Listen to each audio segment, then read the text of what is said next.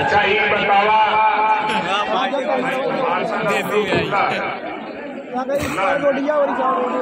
बात समझ में आई ना कि ना आई यह जितना लोग है हमारा पहला सवाल है।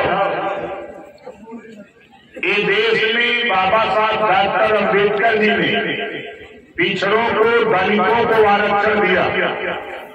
दिया संविधान से हमको आपको आरक्षण मिला। आरक्षण खत्म कौन कर रहा है?